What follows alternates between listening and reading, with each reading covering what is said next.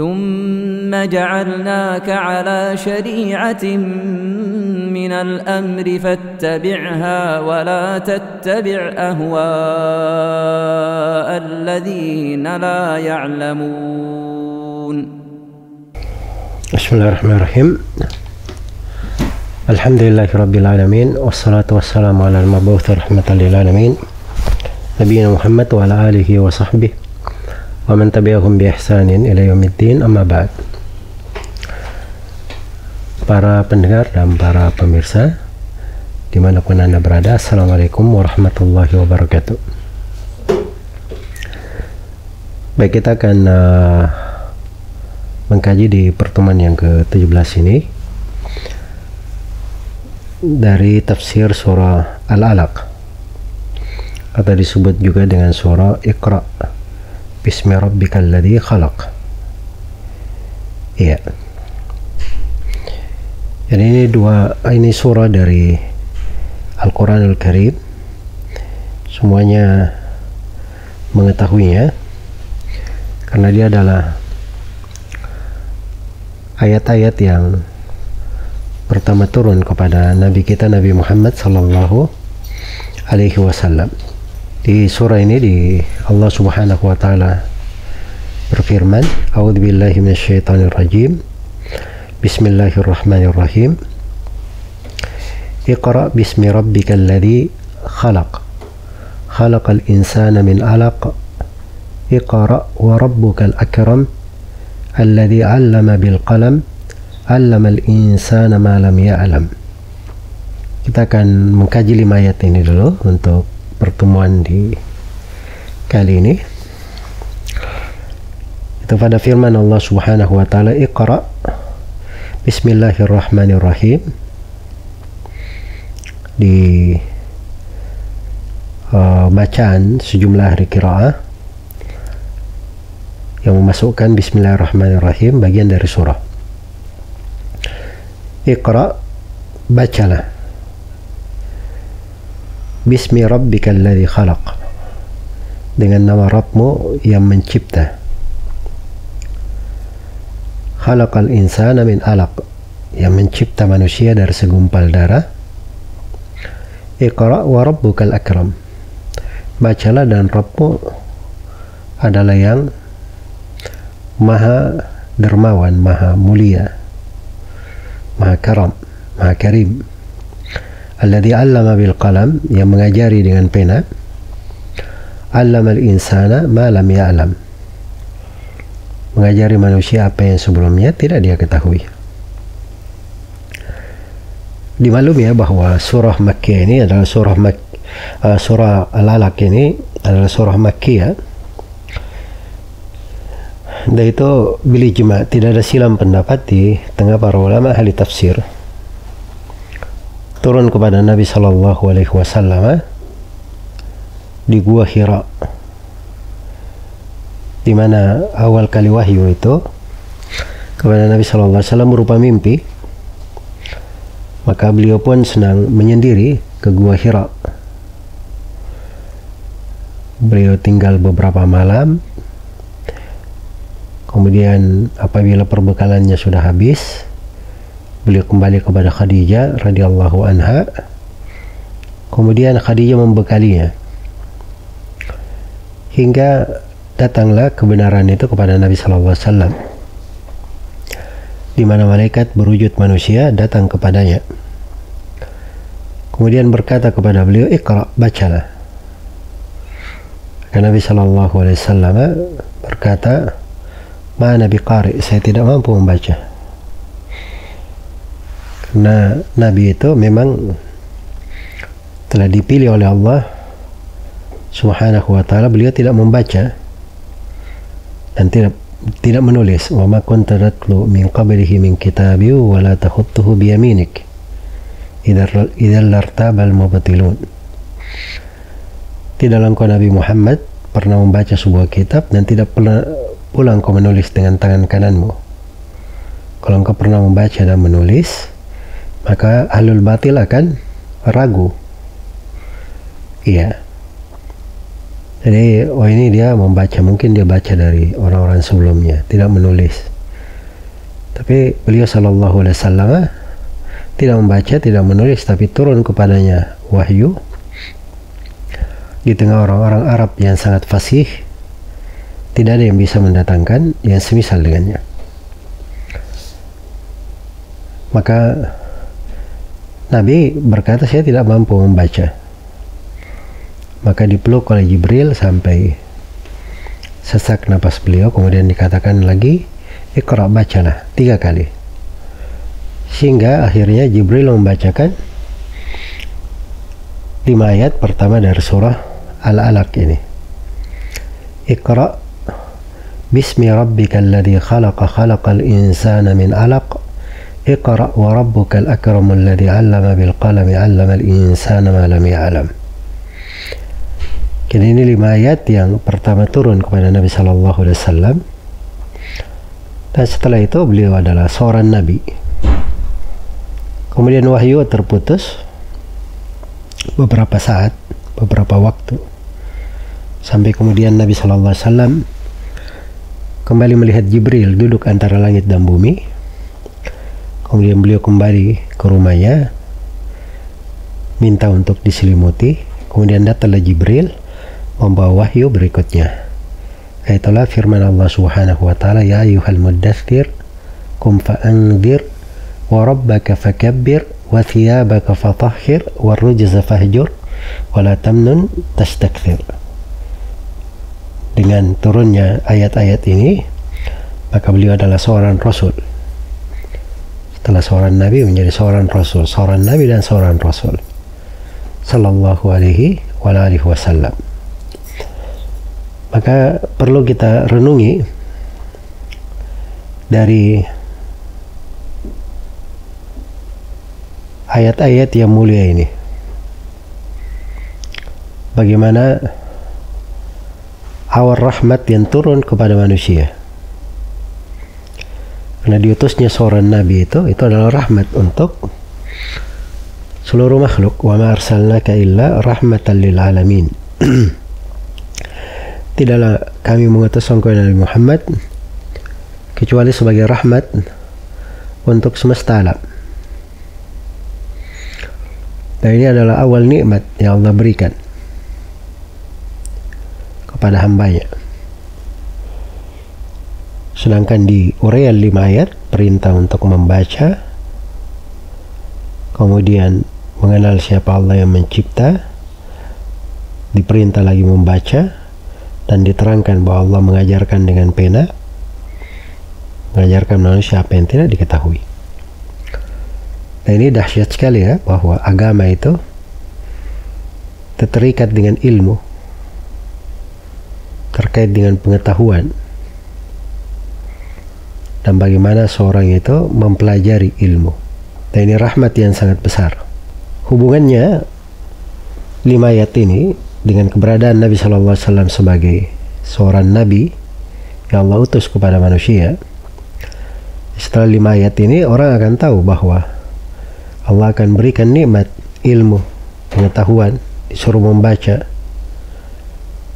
dan semua tahu bahwa ilmu itu itu datang tidak begitu saja. Ada yang menyampaikan ada yang menjadi guru. Ada di sini di sinilah kedudukan Rasulullah sebagai perantara. Beliau yang menyampaikan dari Allah Subhanahu wa taala. Itu seorang nabi. Sekaligus Nabi Shallallahu alaihi wasallam adalah seorang guru. Karena Nabi menyebut dirinya muallim, pengajar untuk umatnya. Shallallahu alaihi wasallam. Dan ini secara isyarat penegasan bahwa beliau adalah seorang nabi dan seorang nabi lah yang menyampaikan wahyu itu dari Allah Subhanahu wa taala. Karena itu tidak boleh ada yang beribadah kepada Allah melakukan tuntunan syariat tidak melalui jalan Rasulullah Sallallahu Alaihi Wasallam. Semuanya harus melalui jalan Nabi Sallallahu Alaihi Wasallam. Jika dikatakan Iqra bismi rabbikal ladzi khalaq. Bacalah bismi rabbika dengan nama Rabbmu. Langsung diperkenalkan tentang Allah. Diperkenalkan tentang Allah Subhanahu wa taala. Itu salah satu tugasnya para nabi dan para rasul. Menerangkan siapa Allah yang diibadahi. Walaqad ba'atna fi kulli ummatin rasula an ya'budullaha wajtanibut tagut. Sungguh aku telah mengutus pada setiap umat seorang rasul agar supaya rasul ini menyampaikan kepada umatnya beribadahlah kalian kepada Allah dan jauhilah tagut segala yang diibadahi selain daripada Allah. Iya. Diperkenalkan siapa Allah yang diibadahi dan diperkenalkan juga hukum-hukum Allah di dalam ayat-ayat dan itu juga tugasnya para nabi dan para rasul tugasnya para nabi dan para rasul kemudian di sini dikatakan ikra bismi rabbika dengan nama Rabbmu tidak dipakai nama Allah misalnya dikatakan ikra bismillahi tidak dikatakan begitu atau tidak, tidak dikatakan bismirrahmani ikra bismirrahmani Iqra bismillahirrahmanirrahim. Tapi dikatakan Iqra bismi rabbika dengan nama Rabbmu. Itu perlu direnungi ya bahwa ini di posisi penyebutan nikmat dan besarnya anugerah Allah. Rahmat Allah untuk umat Islam. Eh, pakai nama Arab yang mengandung makna dialah yang memberi segala hal yang diperlukan oleh hamba yang mentarbiah mereka dengan berbagai nikmat dan kebaikan Iqra bismi rabbikal ladzi khalaq dengan nama Rabbmu ia mencipta sebab kaitannya dengan manusia itu dicipta itu tidak ada yang mengingkarinya secara akal sehat. So, makhluk ini hanya ada dua. Atau apa yang terjadi segala yang ada di apa namanya al-kaun itu hanya dua. Cuma ada yang mencipta atau yang dicipta. Am khuliqu min ghairi syai'in am humul khaliqun. Apa mereka dicipta tanpa sesuatu atau mereka yang mencipta? Cuma ada dua. Kalian ini pencipta atau dicipta pencipta bukan mereka semua orang tahu. Tidak ada yang mengatakan dirinya pencipta. Dia tidak bisa menciptakan. Semut saya bahkan lalat saya tidak mampu dia ciptakan. Apalagi menciptakan dirinya sendiri. Kita semua ciptaan. Maka ini umumnya seluruh makhluk kita memahami ini. Ini dari kelembutan Al-Quran diberi dari bahasa yang menggugah hati orang yang paling minim pemahamannya iya dia kafir pun dia mengakui bahwa dirinya dicipta bukan pencipta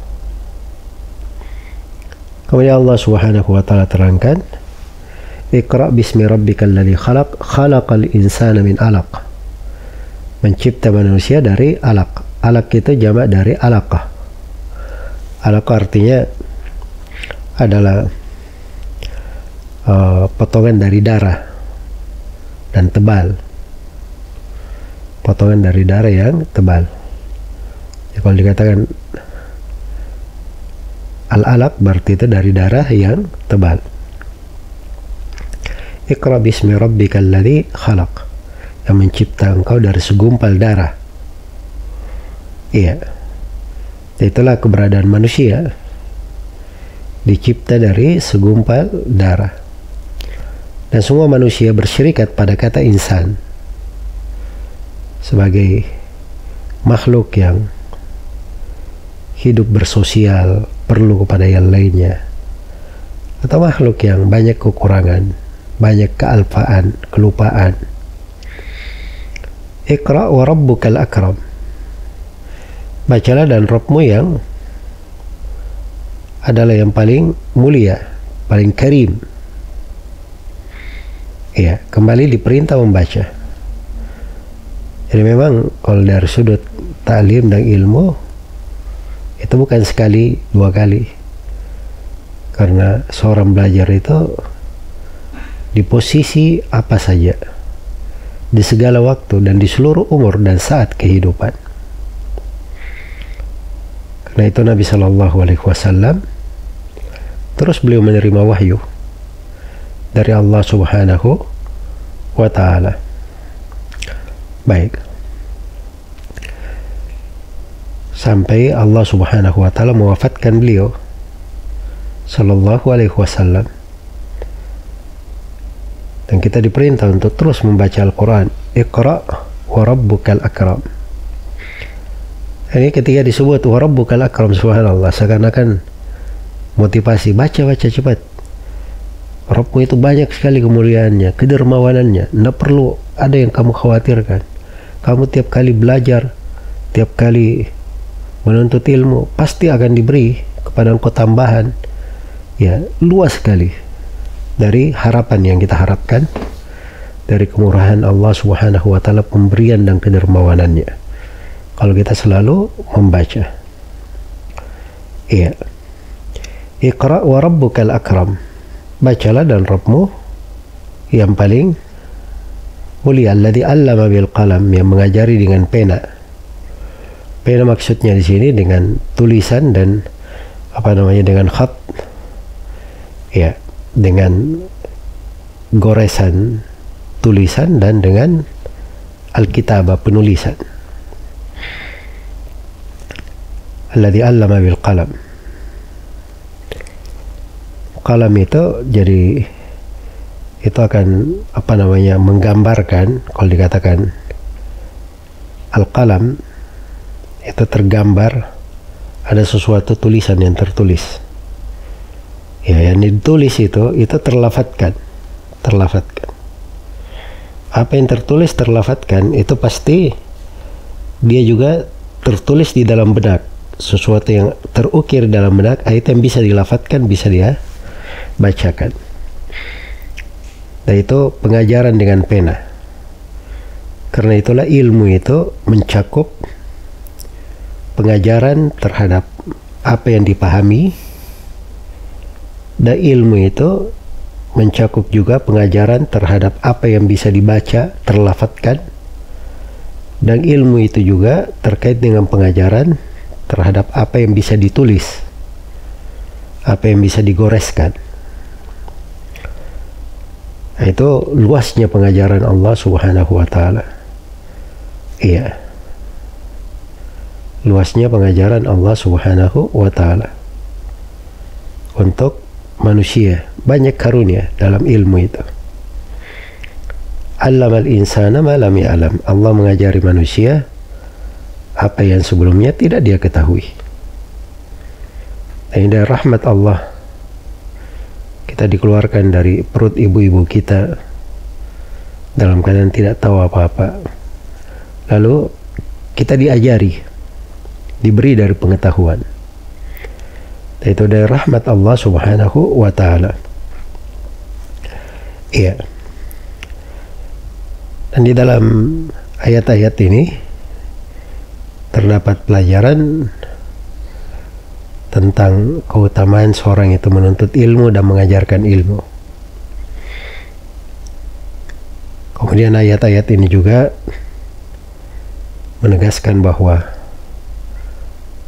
seorang itu apabila mendapatkan ilmu, diajari ilmu, maka itu dari kemurahan Allah kepadanya. Itu anugerah Allah kepadanya. Dan ini juga menunjukkan tentang keutamaan Al-Quran. Siapa yang selalu membacanya, tadabbur terhadap kandungannya, maka dia akan mendapatkan berbagai karam dari Allah Subhanahu wa taala. Dan terdapat penulisan di dalam ilmu penulisan di dalam ilmu.